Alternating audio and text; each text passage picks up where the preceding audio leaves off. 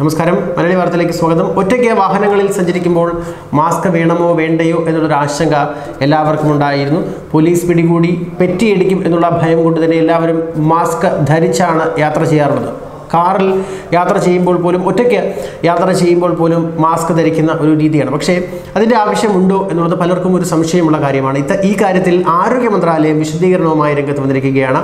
വാഹനത്തിൽ ഒറ്റയ്ക്ക് സഞ്ചരിക്കുന്നവർക്ക് മാസ്ക് ധരിക്കണമെന്നുള്ള നിർദ്ദേശം നൽകിയിട്ടില്ല എന്നാണ് കേന്ദ്ര ആരോഗ്യ മന്ത്രാലയം വ്യക്തമാക്കുന്നത്. ഇത് പലതരത്തിലുള്ള പരാതികൾ ഉയർന്നു വന്ന സാഹചര്യത്തിൽ കൂടിയാണ്. കാറുകളിലടക്കം ഒറ്റയ്ക്ക് സഞ്ചരിക്കുന്നവർക്കെതിരെ മാസ്ക് ധരിച്ചില്ല എന്ന കുറ്റത്തിന് പോലീസ് പിഴ ചുമത്തുന്നു എന്നുള്ള ഒരു പരാതി ശ്രദ്ധയിൽപ്പെടുകയുണ്ടായി. ആ ഒരു പരാതിയുടെ പശ്ചാത്തലത്തിലാണ് ഇത്തരത്തിൽ വിശദീകരണം ആരോഗ്യ മന്ത്രാലയം നൽകുന്നത്. കാറിൽ ഒറ്റയ്ക്ക് സഞ്ചരിക്കുന്നവർ മാസ്ക് ധരിക്കണമെന്ന നിർദ്ദേശം കേന്ദ്ര ആരോഗ്യ മന്ത്രാലയം നൽകിയിട്ടില്ല എന്നായിരുന്നു സെക്രട്ടറിയായ രാജേഷ് ഭൂഷൺ വാർത്താ സമ്മേളനത്തിലൂടെ വ്യക്തമാക്കിയത്. ഒറ്റയ്ക്ക് സൈക്കിൾ സവാരി നടത്തുന്നവരും മാസ്ക് ധരിക്കേണ്ട ആവശ്യമില്ല എന്നാണ് അദ്ദേഹം പറയുന്നത്. എന്നാൽ ഒരു കൂട്ടം ആളുകൾ വ്യായാമത്തിനും മറ്റുമായി സൈക്ലിംഗ് നടത്തുമ്പോൾ മാസ്ക് ധരിക്കണമെന്നാണ് അദ്ദേഹം വ്യക്തമാക്കിയത്. വാഹനങ്ങളിൽ ഒറ്റയ്ക്ക് സഞ്ചരിക്കുന്നവർക്കെതിരെ മാസ്ക് ധരിക്കാത്തതിന് പിഴ ചുമത്തുന്നത് വ്യാപകമായ പരാതിക്ക് ഇടയാക്കിയിരുന്നു എന്നാണ് ഐ എ എൻ എസ് വാർത്താ ഏജൻസി റിപ്പോർട്ട് ചെയ്യുന്നത്. എന്തായാലും ഈ ഒരു ആശങ്കകൾക്കാണ് ഇപ്പോൾ വിരാമം ഉണ്ടായിരിക്കുന്നത്.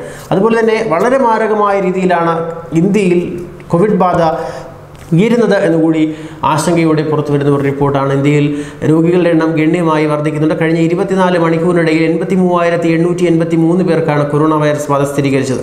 ലോകത്ത് ഒരു ദിവസം റിപ്പോർട്ട് ചെയ്യപ്പെടുന്ന ഏറ്റവും ഉയർന്ന പ്രതിദിന നിരക്കാണിതെന്നുള്ളതും ശ്രദ്ധേയമാണ്. പതിനായിരത്തി നാൽപ്പത്തി മൂന്ന് പേർ കൂടി മരിക്കുകയും ചെയ്തു. ഇതോടെ രാജ്യത്തെ കോവിഡ് പിടിപെട്ടവരുടെ എണ്ണം മുപ്പത്തിയെട്ട് ദശാംശം അഞ്ച് മൂന്ന് ലക്ഷമായി ഉയരുകയും ചെയ്തു. ഇതിൽ ഇരുപത്തിയൊൻപത് ദശാംശം ഏഴ് ലക്ഷം പേർ രോഗമുക്തി നേടുകയുണ്ടായി. നിലവിൽ എട്ട് ദശാംശം ഒന്ന് അഞ്ച് ലക്ഷം പേർ ചികിത്സയിൽ കഴിയുന്നുണ്ട്. കോവിഡ് ബാധിച്ച് അറുപത്തി ഏഴായിരത്തി മുന്നൂറ്റി എഴുപത്തി ആറ് പേരാണ് മരിച്ചത്. മഹാരാഷ്ട്രയിൽ ഇരുന്നൂറ്റി തൊണ്ണൂറ്റി രണ്ട് പേരും കർണാടകയിൽ നൂറ്റി പതിമൂന്ന് പേരും പഞ്ചാബിൽ നൂറ്റി ആറ് പേരും കഴിഞ്ഞ ദിവസം മരിക്കുകയുണ്ടായി.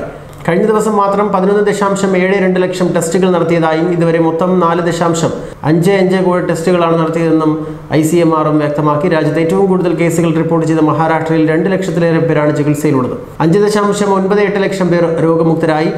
ഇരുപത്തി അയ്യായിരത്തി ഒരുന്നൂറ്റി തൊണ്ണൂറ്റി അഞ്ച് പേർ മരിക്കുകയും ചെയ്തു. ആന്ധ്രാപ്രദേശിൽ ഒന്ന് ദശാംശം പൂജ്യം മൂന്ന് ലക്ഷം കർണാടകയിൽ തൊണ്ണൂറ്റി നാലായിരത്തി നാനൂറ്റി എഴുപത്തി എട്ട് പേർ ഉത്തർപ്രദേശിൽ അൻപത്തി ആറായിരത്തി നാനൂറ്റി അൻപത്തി ഒൻപത് പേർ എന്നിങ്ങനെയാണ് ചികിത്സയിൽ കഴിയുന്നവരുടെ എണ്ണം. ഡൽഹിയിൽ നാലായിരത്തി നാനൂറ്റി എൺപത്തി ഒന്ന് പേരും ആന്ധ്രാപ്രദേശിൽ നാലായിരത്തി ഒരുന്നൂറ്റി ഇരുപത്തി അഞ്ച് പേരും ഗുജറാത്തിൽ മൂവായിരത്തി നാൽപ്പത്തി ആറ് പേരും കർണാടകയിൽ അയ്യായിരത്തി തൊള്ളായിരത്തി അൻപത് പേരും തമിഴ്നാട്ടിൽ എഴുപത്തി അയ്യായിരത്തി പതിനാറ് പേരും ഉത്തർപ്രദേശിൽ മൂവായിരത്തി അറുന്നൂറ്റി പതിനാറ് പേരും മരിക്കുകയുണ്ടായി.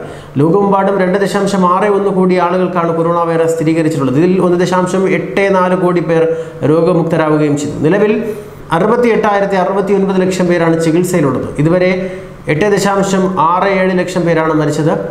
അമേരിക്കയിലും ബ്രസീലിലും ഇന്ത്യയിലും റഷ്യയിലും പെറുവിലുമാണ് ഏറ്റവും കൂടുതൽ രോഗബാധിതർ. അമേരിക്കയിൽ അറുപത്തിരണ്ട് ദശാംശം ഒൻപത് ലക്ഷം പേരും ബ്രസീലിൽ നാൽപ്പത് ദശാംശം പൂജ്യം ഒന്ന് ലക്ഷം പേർക്കും റഷ്യയിൽ പത്ത് ലക്ഷത്തിലേറെ പേർക്കുമാണ് രോഗമുള്ളത്. കോവിഡ് നയന്റീൻ ബാധിച്ച് മരിക്കുന്നവരുടെ എണ്ണത്തിൽ ഇന്ത്യ മെക്സിക്കോയെ പിന്തള്ളി മൂന്നാമത് എത്തിയതും ഏറ്റവും വലിയൊരു വാർത്തയാണ്. ലോകത്ത് പ്രതിദിന രോഗവ്യാപനത്തിലും ഇന്ന് ഇന്ത്യയാണ് മുന്നിലുള്ളത്. ലോകത്ത് ഇതുവരെയായി ഏറ്റവും കൂടുതൽ മരണം രേഖപ്പെടുത്തിയത് അമേരിക്കയിലാണ്. ഒരു ലക്ഷത്തി എൺപത്തി ഏഴായിരത്തി ഇരുന്നൂറ്റി ഇരുപത്തിനാല് പേരാണ് ഇതുവരെ യു എസിൽ മരിച്ചത്. അറുപത്തിയൊന്ന് ലക്ഷത്തി എഴുപത്തി മൂവായിരത്തി ഇരുന്നൂറ്റി മുപ്പത്തി ആറ് പേർ യു എസിൽ രോഗബാധ സ്ഥിരീകരിച്ചു. മുപ്പത്തിയെട്ട് ലക്ഷത്തി അറുപത്തിരണ്ടായിരത്തി മുന്നൂറ്റി പതിനൊന്ന് പേർ രോഗബാധയേറ്റ ബ്രസീലാണ് മരണസംഖ്യയിൽ രണ്ടാമതുള്ളത്. ഒരു ലക്ഷത്തി ഇരുപതിനായിരത്തി എണ്ണൂറ്റി തൊണ്ണൂറ്റി ആറ് പേരാണ് ബ്രസീലിൽ കൊറോണ വൈറസ് ബാധയെ തുടർന്ന് മരിച്ചത്. മുപ്പത്തി ആറ് ലക്ഷത്തി പത്തൊൻപതിനായിരത്തി ഒരുന്നൂറ്റി അറുപത്തി ഒൻപത് പേർക്ക് ഇന്ത്യയിൽ കോവിഡ് നയന്റീൻ വൈറസ് സ്ഥിരീകരിച്ചപ്പോൾ വൈറസ് ബാധയേറ്റ് ജീവൻ നഷ്ടമായത് അറുപത്തിനാലായിരത്തി അറുന്നൂറ്റി പതിനേഴ് പേർക്കാണ്. രോഗം സ്ഥിരീകരിച്ചവരുടെ എണ്ണത്തിൽ നാലാമതുള്ള റഷ്യയിൽ ഒൻപത് ലക്ഷത്തി തൊണ്ണൂറായിരത്തി മുന്നൂറ്റി ഇരുപത്തി ആറ് പേർക്ക് രോഗബാധയേറ്റപ്പോൾ മരണനിരക്ക് ഇവിടെ വളരെ കുറവാണ്. പതിനേഴായിരത്തി തൊണ്ണൂറ്റി മൂന്ന് പേരാണ് റഷ്യയിൽ ഇതുവരെ വൈറസ് ബാധയെ തുടർന്ന് മരിച്ചത്. മരണസംഖ്യയിൽ നാലാമതുള്ള മെക്സിക്കോയിൽ അറുപത്തിനാലായിരത്തി ഒരുന്നൂറ്റി അൻപത്തി എട്ട് പേർ മരിച്ചപ്പോൾ അഞ്ച് ലക്ഷത്തി തൊണ്ണൂറ്റി അയ്യായിരത്തി നാനൂറ്റി നാൽപ്പത്തി ഒന്ന് പേർക്ക് രോഗബാധ ഏൽക്കുകയും ചെയ്തിട്ടുണ്ട്. ന്യൂസ് ഡെസ്ക് മലയാളി വാർത്ത.